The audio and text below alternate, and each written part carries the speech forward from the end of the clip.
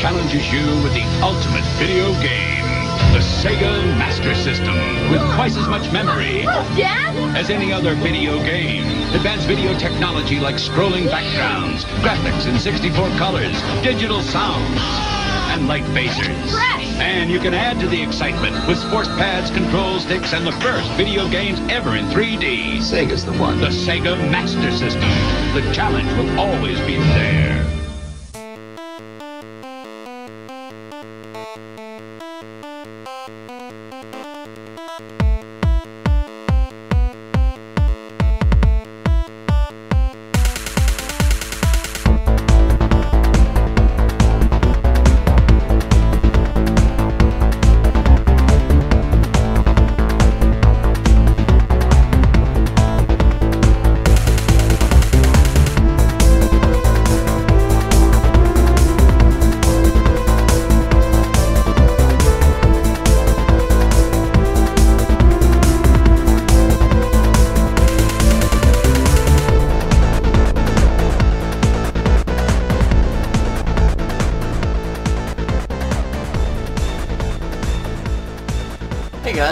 To another episode of the Gamers Lounge podcast. My name is Nathanael Fuller, and with me today is Erik Kubik. How you doing?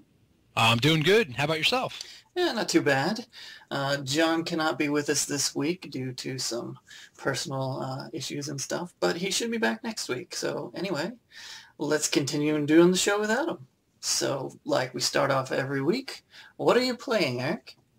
Well, this week I was extremely busy with work and a few other things, and I really didn't get the chance to play anything. I dabbled a little bit of XCOM, uh, Enemy Within, and that was about it. I didn't really play anything else, so Yeah, it seems kind like of disappointing. seems like XCOM's turning into your thing of like me with Minecraft. It's like, yeah, I'll throw it in there even when I don't have a little time. I'll just boot it up. Yeah, just play for a little bit. I mean, I'm almost done with the game, so and like I said before on other shows, it's very like I don't know. Sometimes when you're playing games, you're like, oh, I want to finish this, and it's like stressing me out. But when I play XCOM, I don't really, I don't really think about that. It's like nothing. Mind Yeah. is blank. yeah, so I've been playing a couple things. Minecraft, of course. A bit more of uh, some of the same things I've talked about the last couple episodes. A bit of the mod pack, a bit of creative building, a bit of little bit of uh, doing survival server, bouncing around between those three things. Put out a couple videos of it recently too, so Nice, nice. been doing a little bit more of that that I hadn't done it for a while, and so I put a few of those out, and it's been fun again. I was like I miss, remember I'm missing this. This is fun. So when I get enough time to make videos, it's good. I've also done uh, Second Assault DLC for Battlefield 4 came out last week, so I played a bit of that. Cool. What uh, what does it add? What do you get? That is, it was out on the Xbox One from the start, and they had some sort of random exclusivity, and it's now finally coming out everywhere else for premium, and then regular people get it. Just can buy it. I think the first Tuesday in March, I think, is when it's so. Battlefield 4 Premium can play now. What you get in Second Assault, you get, I believe, five different weapons that they're adding in, which the F-2000 is one of them, which I love that in Battlefield 3, so I'm excited to get that one. I haven't unlocked it quite yet. But uh, you get four maps that were in Battlefield 3 that are kind of been reimagined slash redone. Cool. And it's kind of, the concept is, this is what the maps are like after Battlefield 3. So they're all a little bit more run down even than they were in Battlefield 3. And It's beat up a little bit. yeah, a little beat up. And then the four maps are Caspian Border, Operation Metro, Operation Firestorm, and Gulf of Oman, which is kind of a classic battlefield map that's been in several games. So they've redone them all, and they've added a little bit of Levolution type stuff to them, and they look different. Like Caspian Border is probably the most changed because they added this gigantic concrete wall vertically through the map between a couple of the flags on Conquest that wasn't there before. It used to be just kind of like a chain link fence. And so it's this big kind of fortified wall and you've got these small towers and stuff you can get in and you've got these gates that kind of gate off vehicles that, on how they get through and you can like open and close them. So there's usually some sort of fighting along that wall. And then they've moved the radio tower to the top of kind of the hilltop in the middle of the flag instead of being off to the side. It's kind of like a, well, technically it's a new radio tower because the, if you remember in Battlefield 3, at the end of a match, the or a radio tower would fall down. So there's kind of a little remains of that out there too, I believe. But the tower in the Hilltop one also has kind of an underground bunker thing so that you can have there's like two or three more ways to get up to that flag that was already heavily contested before in Battlefield 3's layout. So you can go in there and set a timer and then when time runs out, the tower will blow up and fall down and it crushes part of the wall. So there's another way through the wall and you can like go up through the inside of the tower and you can do that while it's up as well. So it's just kind of an interesting new way to play on it. Yeah, that, I mean that sounds really cool. So here, here's a question regarding Yeah. the game. So I have it on I have it on PS4 and I played barely any of it. But my brother Yes. wants to get it on P. He wants to get it on PC, and my PC can run it. So I'm thinking about you know going out, and I've seen online is cheap for the whole premium for thirty bucks. Granted, this is not through like I do know they're doing like a Battlefield sale currently right now. I haven't looked exactly to see exactly what that is. It's like some of, and I don't know if that's premium as well. You will. They don't have a premium edition out yet, like they did with Battlefield 3. I'm sure it will be coming at some point in the future, but so you still have to buy them both separately. Yeah. But yeah, I don't know. I have premium, and it's worth it for me because I plan on playing the game, even though I've not played it tons quite yet. I'll still be coming back to it enough that yeah, it'll be good. And it's fun so far. Like you know, the maps look a lot better. They've tweaked them graphically and stuff. They look better than they did in Battlefield 3, which they already looked really good. I the uh, Caspian border is set during autumn this time, so all the trees are all colorful and stuff. So it makes the map feel a lot different. It's pretty cool. Metro is pretty much the same. They've added a couple side hallway doors and things, but mostly it's the same. There's bits of the ceiling that you can uh, make collapse because they're kind of propped up by two by fours and stuff. You shoot them out and they collapse on people's heads. I don't think it kills you. I think it just kind of stuns you. Or I could be wrong. I don't know. I haven't actually been under one yet, so I don't know. And then they've made the elevators work. So that's kind of funny. Like important. a lot of times essential. people would camp the escalators and they had the elevators behind them. Battlefield 3, you don't have to matter. I had one time I went up in the elevators and actually was able to get people from behind because they aren't thinking about that yet. I'll have to remember that. Yeah, I need to. I definitely need to play more. I don't know why I just haven't played more, but eh. Yeah. PS4. Well, even the base maps are pretty good. I, I don't know. It's one of those things where a lot of the friends I play with are debating. Some of them like it better than others, and as far as the bugs and stuff in the game, there's all that that there's some people getting really up in arms with because they have to deal with it more than some other people. It's kind of weirdly inconsistent Mm. on who gets hit with what, but there's still Yeah, but- plenty of issues, but it's still a lot of fun to play. And the one thing that kind of like we had some of the friends were talking with somebody is like, hey, sh- why should I buy this game or should I, you know, avoid it? And the big thing we've kind of boiled it down to is if you can deal with a few, you know, a little bit of inconsistency, you can still have fun with it. Mostly if you like conquest mode, Yeah. because a lot of the issues some of my friends have with they like Rush and a couple of the other game modes better, and they don't like Battlefield 4 quite as much f- from a map design aspect because they did the design based around conquest first, and then we'll try and fit the other modes into it. Yeah. Yeah. Yeah. I mean, Fortunately I- for I me, that's my I game just need to play more. I just need to play more. Yeah. Even on even on PS4, I mean, it'll still be fun. I'll still have a good time. And uh, yeah, I'm probably better with a mouse and keyboard, but eh, I'm good enough Yeah. with a controller. Hold my own. Actually, surprisingly, I kind of miss the playing it on the console because a lot of my friends still play it there, and I don't have it for that. I have it just on PC, so a lot of the people I play Battlefield 3 with, I can't play Battlefield 4 with. yeah, surprisingly, I'm I'm pretty good at shooters on eh, I would say console and PC. I usually can hold my own one to one or two to one kill death ratio. So Yeah. I'd say I'm kind of like average on both, although my console skills have been deteriorated a lot, so I'm probably not even Yeah, mine- high have gone anymore. but it just all just depends. It depends what the game is. You know, Battlefield is definitely different than Call of Duty and like Yeah. Halo and stuff. Like I like that. Battlefield because I can actually succeed in that one because I can be a support player and do stuff. Not literally the support class, but just a supporting player, so I can support the team by doing things like capturing objectives or handing out ammo. I'm one of the few people who actually do that. Yeah. But yeah, I don't have to be a slayer to have fun with the game because I'm never Yeah, gonna have the like five KD and just run around killing everyone. It's just I don't have the skills for that, but I can still have fun. I did, however, have a lot of success this week. I hadn't been playing for a while, so when I started up, I was like, I'm gonna play with the light machine gun, so I don't have to worry about bullets quite as much. because you know if you're a little out of practice, not having to reload is one less thing you have to think about. So I was playing Yep. with the one of the heavier hitting ones, and I was just tearing people up. It was fun. So yeah, that's what I've been playing. Not a whole lot, but anyway. More than me. Yeah, a little more than you, I guess. So let's move on to the small amount of news that we have. Uh, the big one that happened kind of just right after we recorded last week was that the Bioshock developer Irrational Games is going to be shutting down, or kind of winding down, I believe is the term they use. They're going to cut it down to, you know, like kind of a 15-person Okay, team with yeah. Ken Levine. Skeleton staff, pretty much getting rid of most everybody.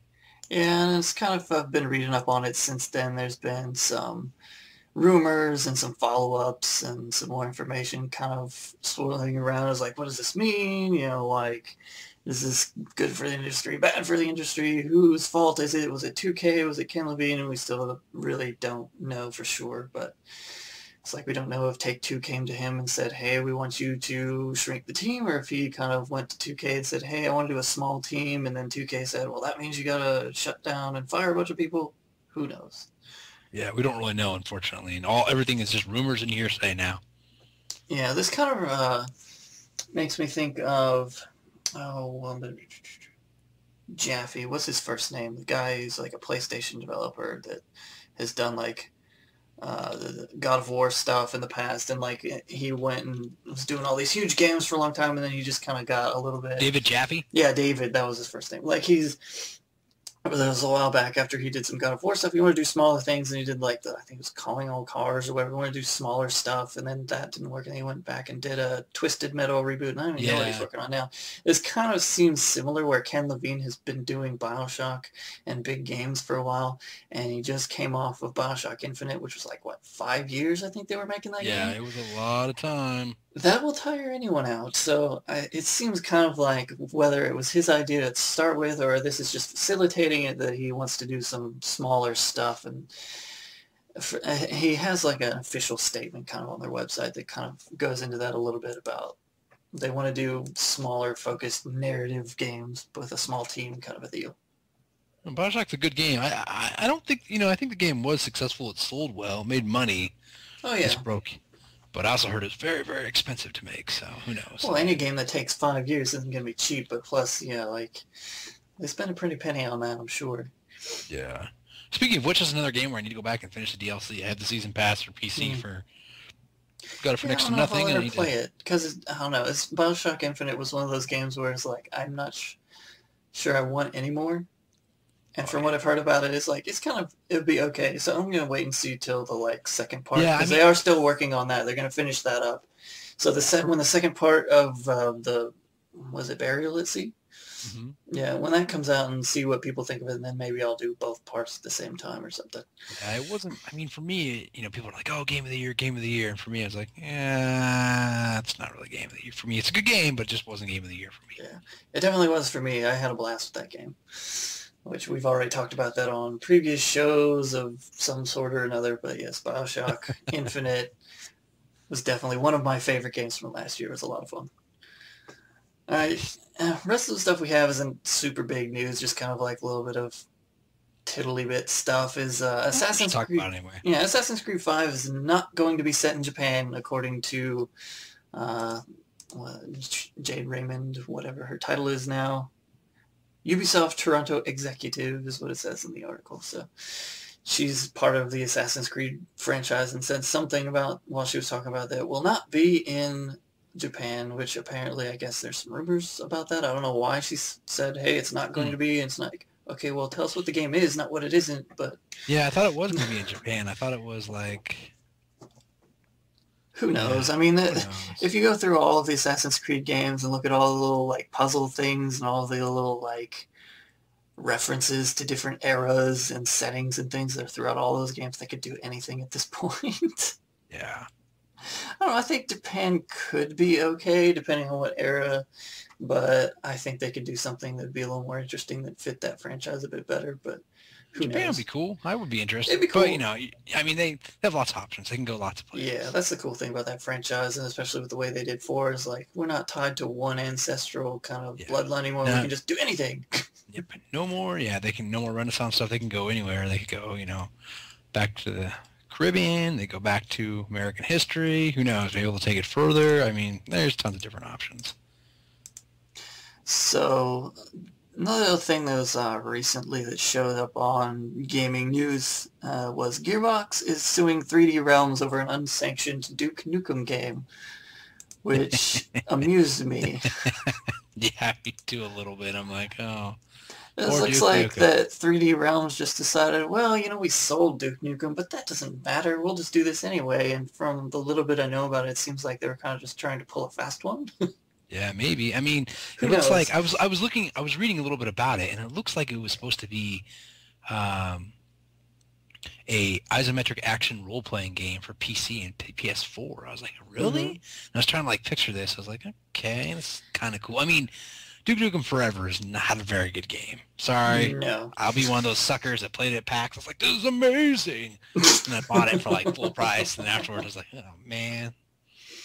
So I'm one of those weirdos that didn't even like Duke 3D all that much. Like everyone thinks it's such a classic game. It's like it's okay, but I prefer Duke Nukem and Duke Nukem 2, like the 2D side scroller things. Yeah, those are good games. Where you're picking up like, you know, soda cans and stuff for power ups and all sorts of stuff. Like those were fun. I played those when I was That's, growing up. that's what the are a lot hype kind of the hype kind of reminds me of that a little bit actually. Yeah.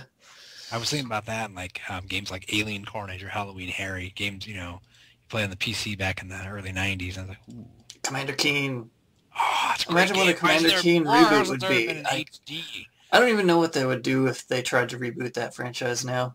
There's a nice. I know there's a Steam. I thought there was a either on GOG or Steam. You could get the pack of all the games. I was like, I should do that. And I was like, wait, I bet those games have not aged well though. Oh, I doubt it, but And the Oh. first one's pretty crummy, but the the last, the later two were pretty good. So I mean, that was uh that was that was what's her name? A- Apogee, right? I believe that was- an Apogee that was- one, but I don't remember. was those were the guys behind, you know, Doom and stuff like that. That was Yeah. their little. They put out a lot of stuff that was in that sort of uh, shareware kind of era of games. That is a good idea, though. I mean, you get the you get them hooked for the first uh, episode or so. Oh they yeah, I definitely got hooked as a kid growing up on some of them things. Like play a little bit and like, oh, I want more. Yeah, yeah. That could be an interesting topic sometime. Um, let's see, what else do we got going on? Got the Titanfall beta. Pulled in two million unique players. Yay! Was that- AKA, lots of people want to see what this game is. That was both the PC and the Xbox One, so that's pretty cool. Yeah. Uh, Sounds like it went pretty well for them. They got to test a lot of things. It went down on the Xbox for a little bit, but for a few hours they were able to get back up and they said in the article here they found 10 things that they were able to work on and fix before launch. So it's like, if you can get those before launch day, that's good. well, they were running and they were patching it too. I think I Oh, mentioned yeah. this on the last Yeah. show. They were patching it, so we got to play a little bit longer. So that was pretty cool. Yeah, I know, and I played it a couple times. It seemed pretty smooth. So I don't know, we'll see. It's kind of one of those things where, like, Battlefield 4 had some problems when it was in beta, and then they patched a lot. And when beta was, by the time it was done, it was running away okay, and then by the time the game launched, it was terrible during the launch Yeah. week. like, and then it's just What kind of had problems crap? spinning out. And that's with a lot of games. They'll have a beta, and it's limited. It doesn't have all the features in it. It's its own special, you know, code that they've output for it. And then when you come to the full game, a lot of unforeseen things can show up, especially in a multiplayer thing. Yeah, yeah. Who knows? I mean, that's always something. That's a good point of a beta. Is yeah, you get people a little bit of taste of what's coming, and you get to, uh, you know, and you get to work out some stuff if you have the time. So Yeah, it looked pretty, pretty cool. So well, I'm sure it'll go pretty well. It's another, what, is it a couple weeks when it comes out? This is March. I just forget the date right now off the top of my yeah, I was I was listening to other podcasts, and they're they're they're speculating that it's going to help sell a couple thousand, a couple hundred thousand Xbox Ones. I, I could see that. Well, they are having an Xbox One Titanfall package, at least in the Yeah. UK. I don't know about here in I, the I thought US. there was you could get. I thought if you bought an Xbox One, you could get the digital copy for free or something. That was the rumor. I don't know. I there's all sorts of random stuff, but you definitely know that Microsoft is wanting Titanfall to do well, so that they can sell Xbox Ones. That's kind of a rumor of why they've pushed back the 360 version of the game by just a couple weeks, so not very long. So who knows? I mean, I, I still have some concerns, like we talked about in the last show about Yeah. the game. It's, it's looks like it's gonna be a lot of fun, but it's gonna be enough to keep people for the long run be interested. I'm not sure that that this point Microsoft cares. They just want to sell a ton as There far as they're go. concerned. Now, as far as, you know, Respawn and EA are concerned, sure, they want to rope people in and get them in on all the DLC in the future, all that stuff. But Microsoft is kind of hoping, I think, that it'll just be a big hit that'll get people to buy their console. Yeah. Which, hey, uh, it, it would be one. It's kind of the first potential one that they've had since launch that says, hey, I want to play this game for a lot of people. And I think having played the beta, it's a very smart product in that it's not super hardcore. It's going to appeal to a wider variety of people, I think, at least as far as people who like shooters. So, Mhm. I don't know. I think it's poised to do well as long as the launch goes well. I think that it'll probably sell quite a lot. I think I can agree with you. Okay, guys, we have a special guest this week for an interview for the show, and I'd like to introduce you to Matt Raithel. He's the studio director for uh, Graphite Lab, which is a small game studio in St. Louis. How are you doing, Matt? Doing well. Thanks for having me on the show. Yeah, so why don't you give us a little bit of background on uh, Graphite Lab yourself, maybe kind of where you come from, and tell us a bit about uh, why you're here, which is your Kickstarter project for a game called Hive Jump. Yeah, for sure. Um, so I got my start in games back in 2004 um, at a little uh, kind of college startup called Black Lantern Studios. Um, they were a group of recent graduates who really were, a lot of them were all programmers, kind of in the, the web, um, we'll call it serious programming jobs type of industry. and um, they'd kind of done their thing and they decided they were going to start a game studio. Um, and so I got connected with them pretty much right out of school as a 3D modeler, um, making games for the PC. And like a lot of authors, or at least I hear this is like this for a lot of authors, the first game that we were coming up with, nobody wanted to publish. Nobody wanted to pick up. But the second game we came up with, then everybody was like, oh, okay. Um, so we were working on a PC game uh, called Nightclub Tycoon. It was the height of the Tycoon era. Um, nobody wanted to publish that game, but they had some other games that they wanted us to make. So we kind of got into doing work for hire game development at that point. Um, it allowed us to grow the company, and over really the next five years or so, we grew Black Lantern doing mostly licensed titles, uh, games for companies like Nickelodeon and Disney, um, among a few others. Uh, but majority, 90 plus percent of it was all doing licensed titles, Hmm. uh, and all largely for uh, consoles, so a handheld or, or console. So we got experience on the Game Boy Advance, got experience on the DS, the Wii, the 360, um, and we're really having a lot of fun uh, doing all that work. Um, however, my my heart and my family was in St. Louis, so in 2008 I convinced our partnership to back me in an expansion um, to St. Louis to start up a new extension of our Black Lantern studio. Um, and uh, I wanted to make that in St. Louis because that's where I'm from, and I felt like it would be a good uh, spot to expand to. Um, so in 2009, we started what would become Graphite Lab, and uh, originally it just been Saint Black Lantern St. Louis. Um, and our first project there was a game called Ben 10: The Rise of Hex. It was a Xbox 360 game for XBLA and uh, and WiiWare, and um, it was for Konami and Cartoon Network, and it really gave us a good 12 months worth of work to kind of grow the studio around. Um, once that project was finished, it was kind of one of these moments where we looked around and, and saw that nobody else really at that time, this would have been 2010, nobody else at that time really wanted to put more money into Xbox Live. WiiWare kind of it exposed some of its own flaws and, you know, our Springfield studio was still doing all the DS and uh, uh, and uh, Wii work. So we were kind of looking for our, our new identity. And at that point, um, everybody was flocking to mobile. So we decided, all right, well, we can kind of be that group to investigate what mobile's all about. Mhm. so we really ran that same formula that we'd learned from our first studio, which is to do work for hire, licensed products, and predominantly kids brands. So anything you'd find on like a, a Nick Jr. or a you know Disney TV show, that was going to be our market, and we went after it, and we were successful. Um, we kind of got our footing and, and founded our name under our name Graphite Lab um, largely under a uh, contract with Hasbro to do games for their My Little Pony franchise and Play-Doh and Transformers, to name a few. Um, but we were doing it all on the in the mobile space. So Mhm. it was a little bit of a shift for me. You know, Were any of those uh, mobile games, you know, super successful or anything? As far as just like lots of people enjoying them, I guess.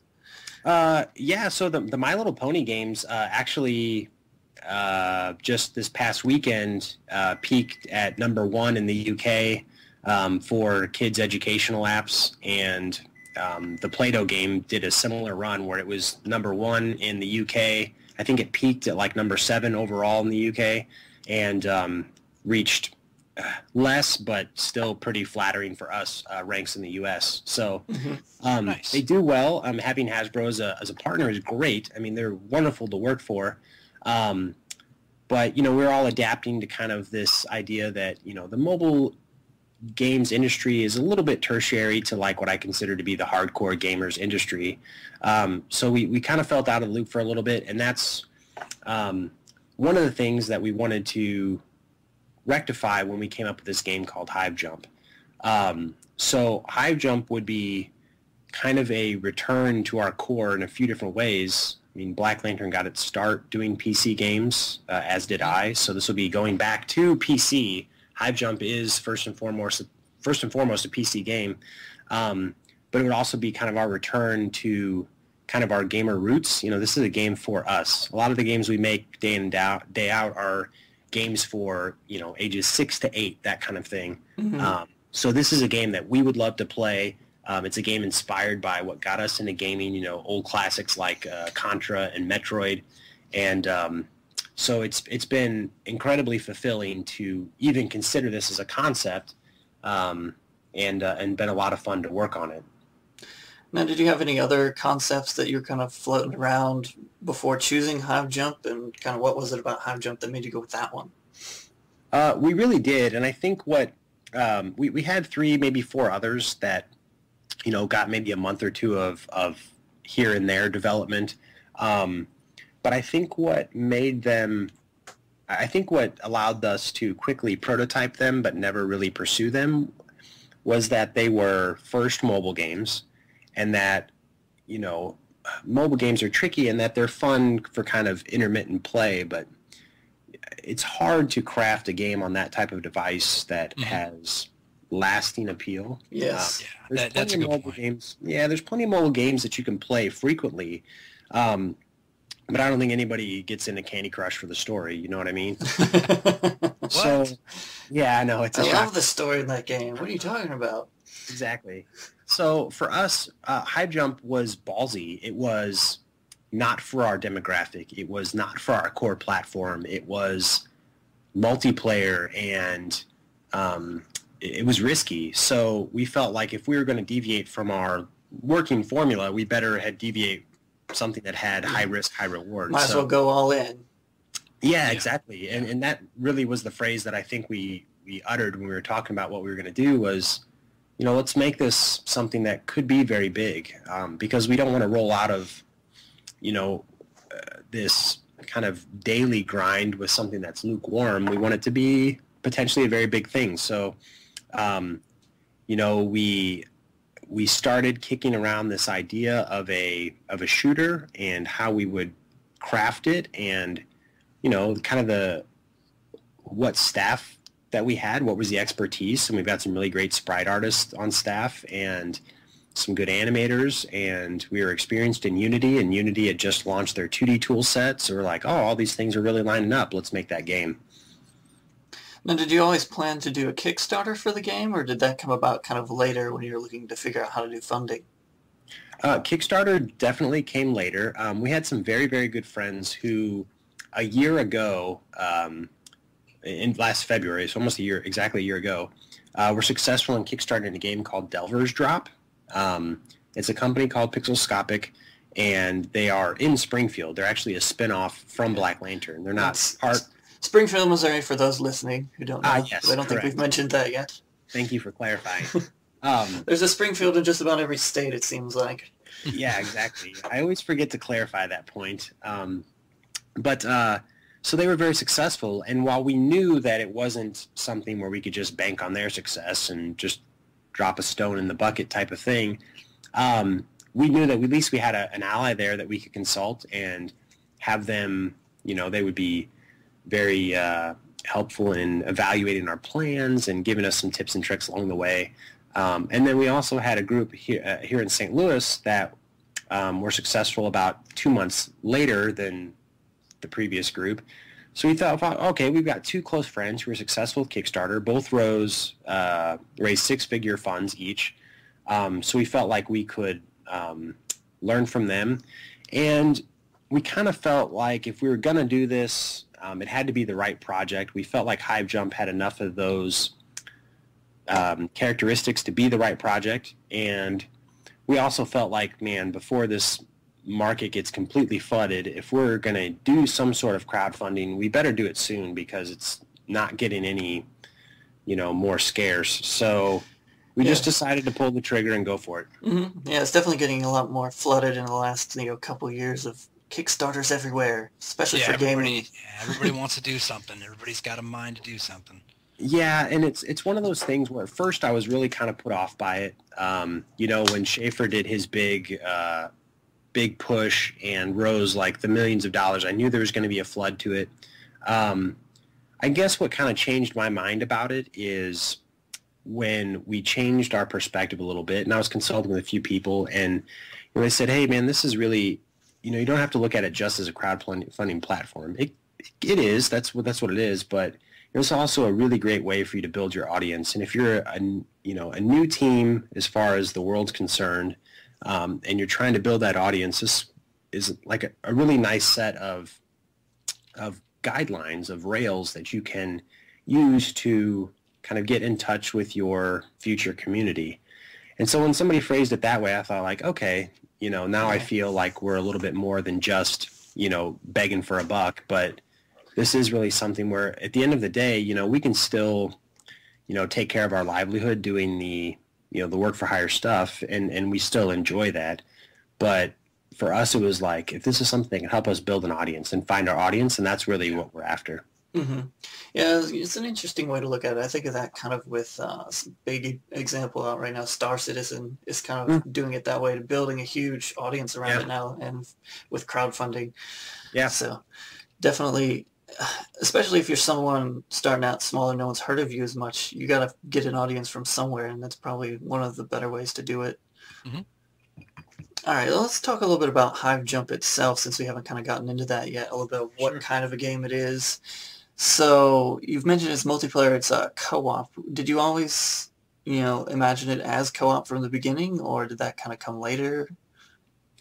Um, well, we we we definitely envisioned it first as as multiplayer, but then mm-hmm. we, you know, our experience with with programming multiplayer systems has all been on consoles where it's a lot more laborious, mm-hmm. and um, so at first we said, oh, this would be great if we could like all of us in the studio play this game, and then we're like, eh, but multiplayer is really tricky. So maybe we should think of this kind of like first single player, and, and we did for about a month maybe, mm-hmm. and then with some really, really great support that Unity has, we started dabbling, one of our programmers started dabbling in the multiplayer system and kind of with a couple of late nights and a weekend surprised us with what was really pretty significant progress on getting multiplayer set up and then that got everybody excited and um, it wasn't until maybe two weeks before the Kickstarter launched that we felt like we had to push the product first as a multiplayer game in order to in order for everyone to kind of perceive it as what we really thought the best way to play was going to be. Um, yeah. So that's kind of why we made that change and why we present it first as a multiplayer game. Single player is still very possible and still a decent amount of fun. Um, but we just felt like that ideal experience would be playing this game with a bunch of friends. Yeah, it seems like you're hitting on a similar note to some of the uh, other indie uh, titles that have blown up big or semi-big recently, kind of like Risk of Rain or like Terraria mm-hmm. and some of the other ones that style, both in a little bit of your aesthetic, but also the style of game it is. Not exactly the same as any of those, but that's kind of what it reminded me when I was looking over the stuff you have on your Kickstarter page. Yeah, no, it's it's definitely a compliment, and I would say that Risk of Rain, Terraria, and Starbound get mentioned at least once each every day that we're at the office. Um, well, I would say kind of just the way that your levels look, kind of Mhm. you look like tunnels or something in Terraria or Starbound, and kind of a little Yeah. bit of the aesthetic as well.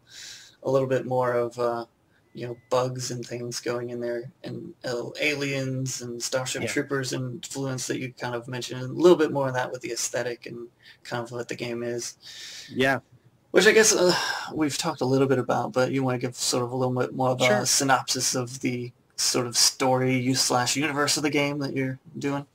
Yeah, absolutely. So from the top down, Hive Jump is uh, a 2D sci-fi action shooter, um, multiplayer, um, and the real premise of the game is you are a very select group of space marines that are sent to a distant planet that has gone suddenly silent, as distant planets tend to do, uh, and uh, to really liquidate, eradicate this very aggressive alien infestation that has overtaken what used to be a very uh, docile science research laboratory type of thing.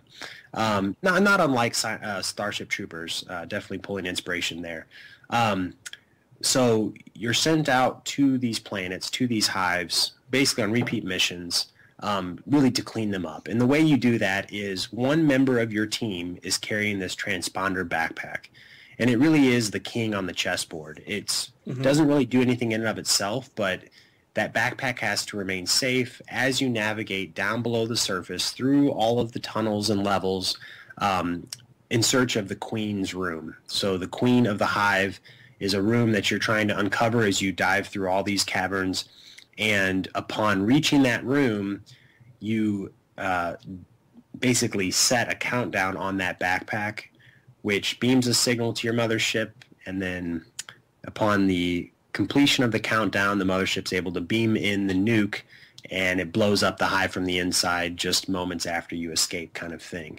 And this process repeats as your mission as uh, space marines are to kind of uh, eradicate these alien beings from all these planets in kind of this sector of the galaxy type of thing. So Mhm. as you play more and more, you realize that this is, Hmm. you know, more than just one jump, more than one hive, and it's all about kind of, uh, you know, uh, jumping on these new hives, amassing, you know, more intelligence about these beings, crafting bigger and more awesome weapons to defeat, you know, stronger versions of the the aliens, and uh, you know, really kind of at its core, it's a it's a little bit of just kind of galaxy domination. Yeah.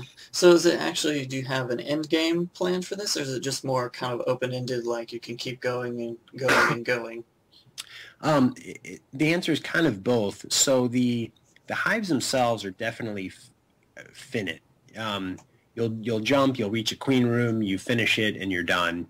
Um, but the play, um, and it's going to sound like a weird uh, relation, but um, it's kind of more like League of Legends, where you're playing a single match. Like you're, you're making a jump, so you're looking at like 30 minutes to you know delve into one of these hives and clear it out get your resources, which then you'll end up almost kind of spending uh, to synthesize new weapons and that sort of thing, just like you would in like a League of Legends match. Mhm. You know, so unlocking new things that you can then use for additional missions. So is it more an unlock, or do you get a bunch of different kinds of resources and have more crafting, or kind of a weird mix of both?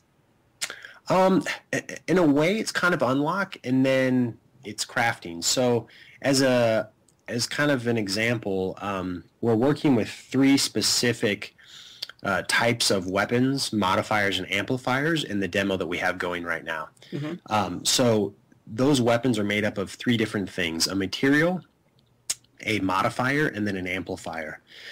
So the material might be something like simple bullets or simple gunpowder, I guess, and uh, or or fire or plasma.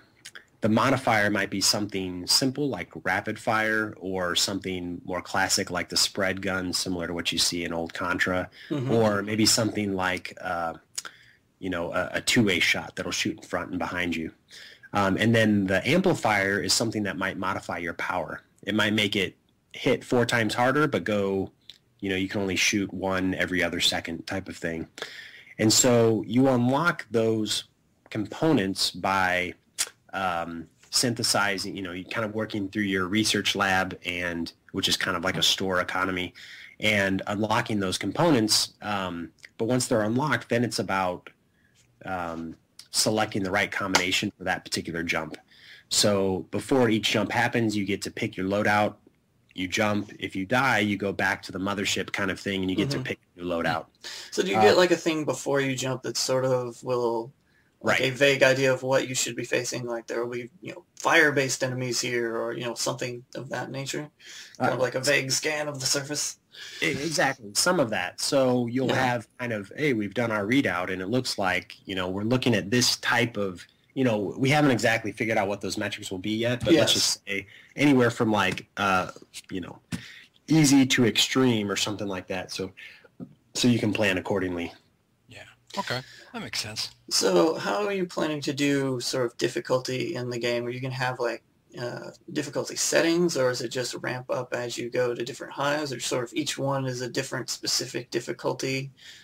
And also, does like uh, number of players affect it? Kind of like a uh, uh, nah, brain's leaving me here. But anyway, kind of like you know, more players equals more difficulty, kind of a thing. Certainly, more players equals more difficulty. Okay. Um, a- as an example, just because we've been talking about it in the office, uh, Diablo works very Mhm. with with some additional intelligence, but works kind of that way. You know, if you have more people jumping in, then the bosses are just harder. Um, so there's definitely some of that. Um, and then as you play more and more, the way we envision this, um, you know, as we kind of expand this this project and the scope is that you know different hives would have different difficulty levels. So if there was one like on the outer rim of the galaxy and it was labeled as like super extreme, then maybe the three of us on this call would, you know, pair up and we'd have to go tackle this particular hive because it was so tough. And maybe we need to get three other, you know, friends on the jump with us because it just requires that, you know, that many more people. Um, one thing that's unique about this game is um, I, I, your jump team survives as long as that backpack stays intact. So when you die, that backpack gets kind of ejected, um, which is actually pretty funny when you watch it happen. But it gets kind of ejected like an ejector seat in a plane, and um, then the bugs go like race after it to try and destroy it. Um, well, your other jumpers can catch that backpack, so you can kind of, you know, uh, you know, lob this backpack here and there to your other jumpers um, to kind of keep it safe. Um, so as long as that backpack survives, you can keep spawning endlessly. So the more people you have in your jump, the better chance you have of just protecting that backpack and um, and surviving the jump ultimately. Yeah, sounds really really cool. Um, I noticed uh, the Kickstarter you mentioned everything is procedurally generated. The levels. Does that come with any particular challenges, or to make some design aspects easier for you? Um, so it's certainly um, it's certainly uh, you know not a, a silver bullet. I mean, there has to be a lot of refinement um, as we go along to make sure everything is is pieced together. But that you know that method of generation we took very um, uh, heavy inspiration from like Derek Yu and Spelunky, where they make you know modules and then piece those modules together Mhm. um, based on their in and out points, um, which is a, a a really great way to do it. And you know we saw no need to really reinvent the wheel there. Um, we were able to get some really nice serpentine hive-like, uh, you know, very cavernous uh, generations by doing it that way. Um, so those individual modules get built, um, you know, kind of like glorified puzzle pieces by our design team, so they can look very deliberate. Um, but when they get all pieced together, they're still very randomized. So you can, um, you know, generate, know, 50 different hive layouts very quickly, um, and have them still look deliberate and well detailed, but um, but they're still new each time you jump into one. All right. So if Hive Jump goes really really well, what do you want to do next? Do you plan on doing some more original titles, or I would love to. I would love to. I mean, this this type of game, I just feel like, um, you know, we've really got more of a, you know, our hands on a general archetype here that, you know, we could see this same approach, you know, working really, really well with kind of like a, you know, a fantasy inspiration versus a sci-fi inspiration. So, mm-hmm. um, yeah, we would love to keep working on, uh, you know, our own ideas. We've been doing um, games for other people for about 10 years now, and it's been thrilling and fun, but I feel like we just have, you know, much, much more to offer the games industry. And, um, and it's been so much fun even working just these short couple of months on Hive Jump that, you know, if we were to get, you know, the next eight months to focus on this thing, I, I would just be thrilled. And I think we could make something really awesome in those eight months. Now, as far as the Kickstarter goes, uh, what do you guys have plans if you don't reach your goal? If you do reach your goals, all your different like stretch goals and things like that, I've noticed you've got laid out that pretty sure. well. So, kind of, what are the plans with all of that? Sure. Yeah. So, I mean, as you can see, kind of from where our campaign's at right now, I mean, Kickstarter's not without its challenges, um, mm-hmm. but we, um, you know, we felt like Kickstarter was really a way to connect with our community first, and we'll keep using it to do that. Um, and you know, second, it's a way for us to accelerate development, provide some focus for it. Um, so let's just say Kickstarter was done and we, we didn't reach it. Um, what we would be doing next is the answer is we would continue to be working on HiveJump. We couldn't afford to do it as much as we are, um, as much as we are now. Um, but you know, we'd be looking at maybe a 2015 release instead of a 2014 release type of thing. Mm-hmm. Um, and we would be without the support to do all the cool backer gifts, um, you know, all the, all the, um, you know, additional content pieces and, and, other things that we want to do as part of that Kickstarter funding. Um, you know, some of those might have to take a back seat or just be limited in quantity. So, um, you know, Kickstarter, when used, uh, you know, appropriately can do some really cool, awesome things. Um, but if it doesn't turn out to be that way for us, then we'll continue pushing forward with this particular product. Just take a little bit longer. Mm-hmm. Yeah, one of the interesting things I noticed that you guys have you're offering through the Kickstarter is if you buy in at certain levels, you get free codes for friends when the game comes out. Yeah, and that was something that um, we did announce that after we kickstarted. It was about mm-hmm. a week after we kickstarted, um, and for us, it was, um, you know, we had we haven't really seen anybody else doing it, um, and we felt like, you know, what would really make us, you know, the most satisfied, the happiest, is if we had, you know, a million people playing this game.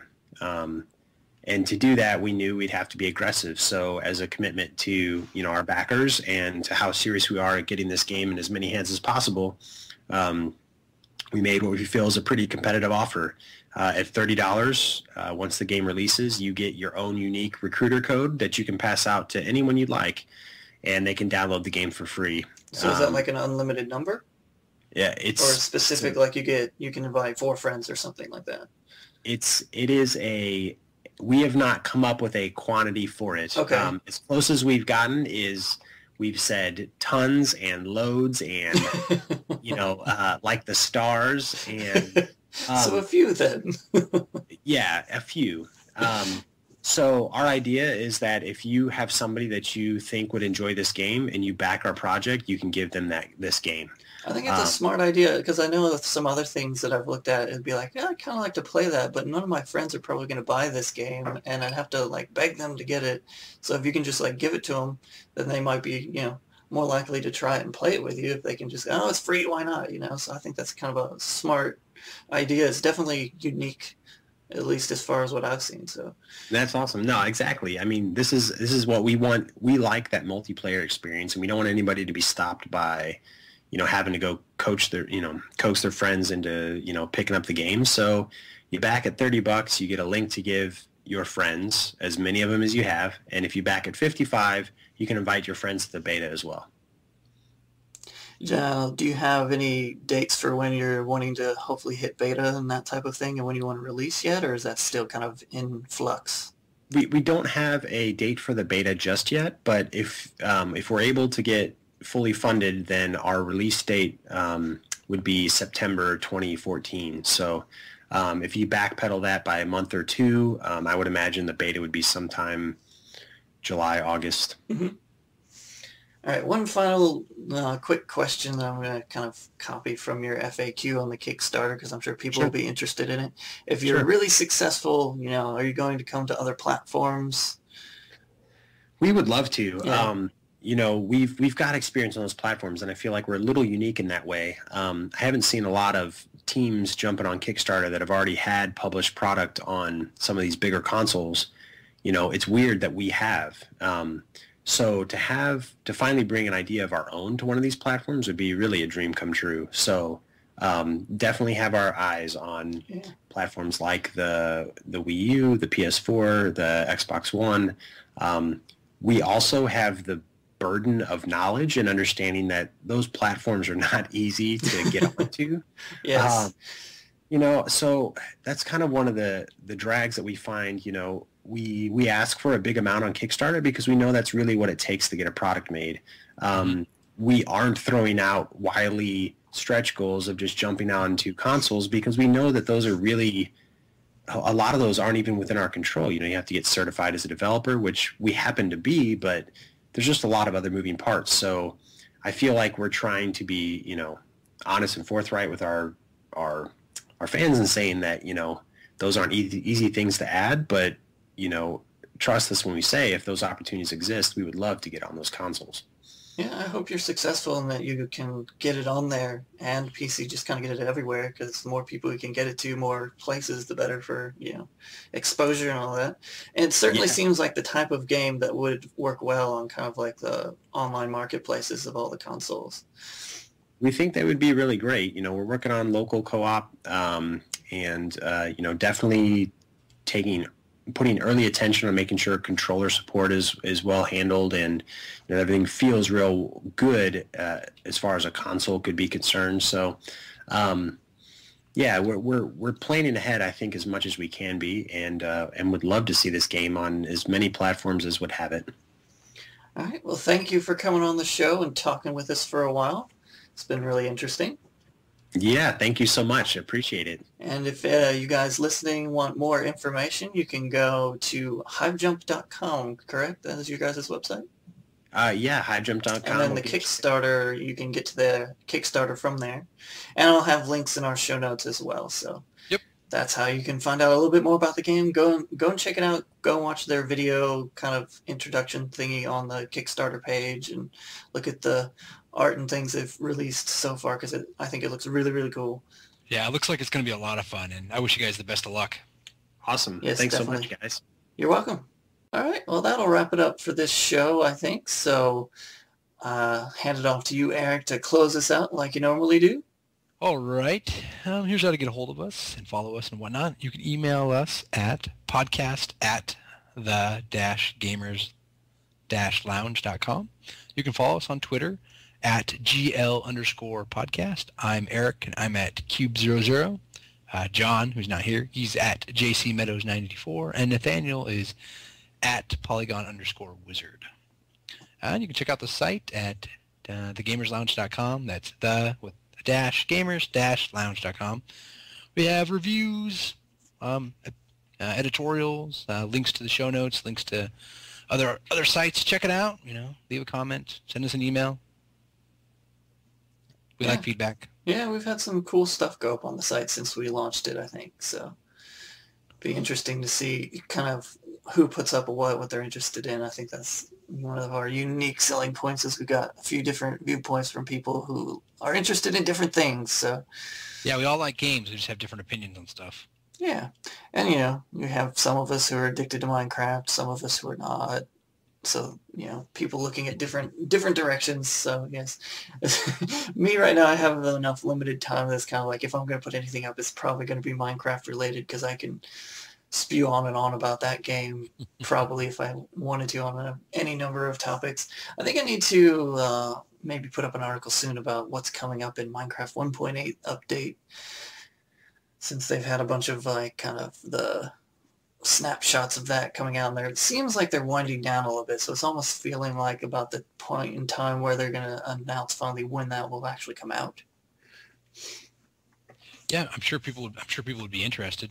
Yeah, because uh, if you're not like me, like I follow a few of those guys on Twitter, I watch a bunch of stuff on YouTube, so I'm pretty up to date. But if you're not up to date on that stuff, it's kind of like, well, I don't want to have to look here, there, everywhere for it. Where do I look for info? So maybe I'll do that. Hopefully I have time to get something like that put together.